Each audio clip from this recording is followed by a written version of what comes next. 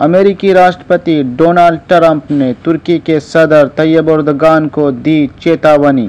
कहा, जड़ से मिटा दूँगा। असलकुम आदाब। मैं गुलाम आपका हमारे चैनल में स्वागत करता हूँ, इस्तकबाल करता हूँ। आप लोगों से गुजारिश करूँगा। अगर आप चैनल को सब्सक्राइब नहीं किए हैं तो सब्सक्राइब कर दें।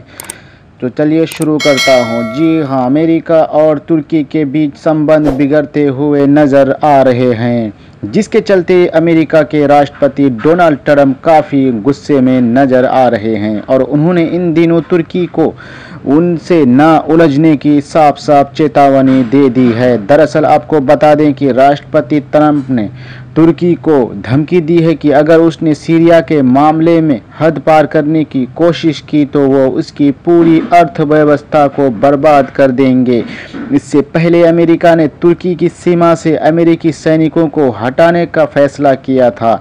जिसे सही ठहराते हुए ट्रंप ने कहा था कि तुर्की में मौजूदा स्थिति से उसे खुद ही निपटना होगा। आपको बता दें कि ट्रंप ने ट्वीट करते हुए कहा था कि मैंने पहले भी कहा है और एक बार फिर बता रहा हूँ कि अगर तुर्की ने कुछ ऐसा किया जो मेरी दृष्टि से हद से पार हुआ तो मैं तुर्की की पूरी अर्थव्यवस्था को बर्बाद कर जड़ से मिटा दूँगा।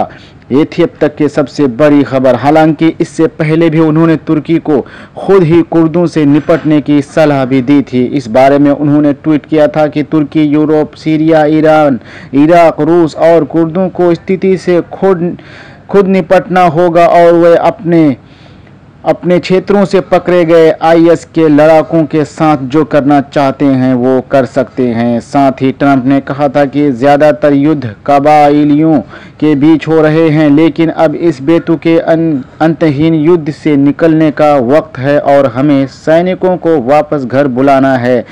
हम वो लड़ाई लड़ते हैं जो हमारे हित की होती है और सिर्फ़ जीतने के लिए ही लड़ते हैं। तो ये थी बहुत ही बड़ी धमकी।